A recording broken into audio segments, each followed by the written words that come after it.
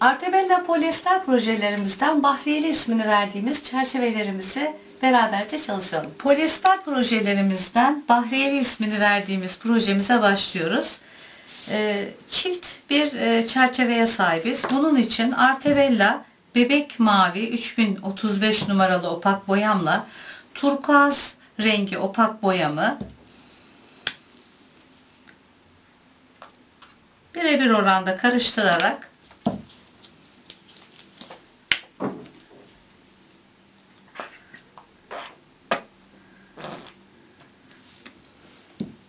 kendime özel bir boya hazırlıyorum. Biz genelde opak boyalar alıp direkt kullanıyoruz. Zaman zaman projelerde renk karışımları hakkında size bilgi vermek istiyorum.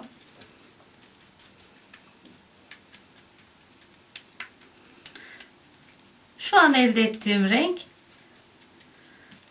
turkuazın biraz daha açığı. Çerçevemin her tarafını bir kat elde ettiğim opak boyalarımla elde ettiğim bu renkle boyuyorum.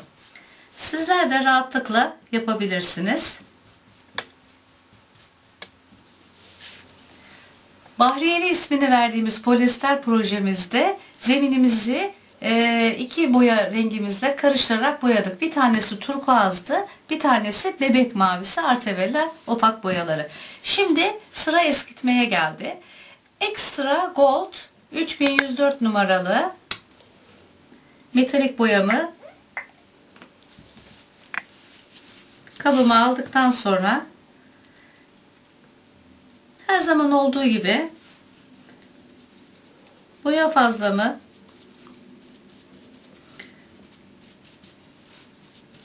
peçetemde bırakacak şekilde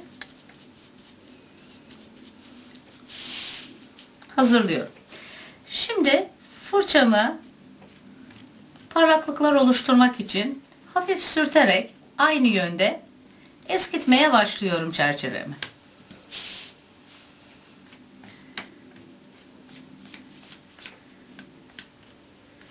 Burada yönümün aynı doğrultuda olmasına özellikle dikkat ediyorum. Biraz yoğunlaştırarak çalışmama devam edebilirim.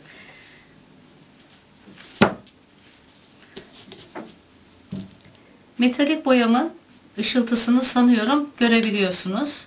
Biraz daha yoğunlaştırıyorum.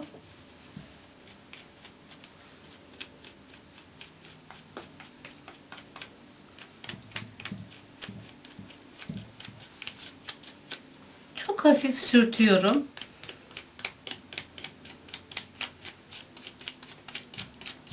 Bu şekilde iki çerçevemi de metalik boyamla kuru eskitme yaparak çalışmama devam ediyorum.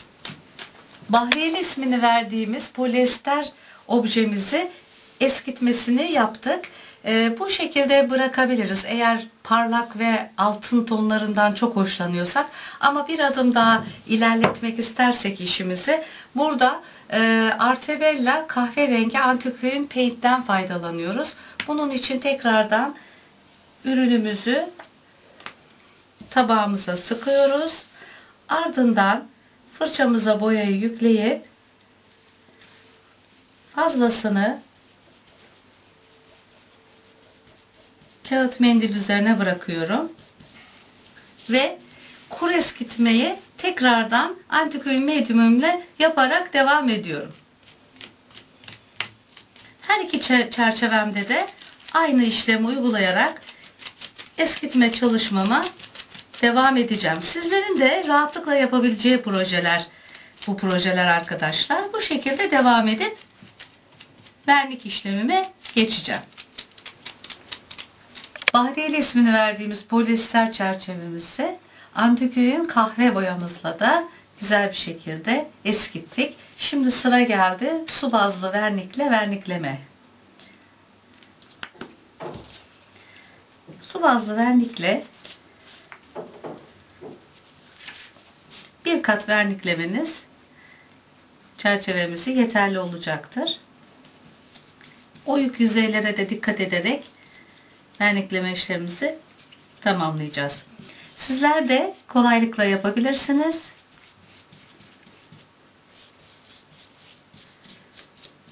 Bir diğer projede buluşmak üzere.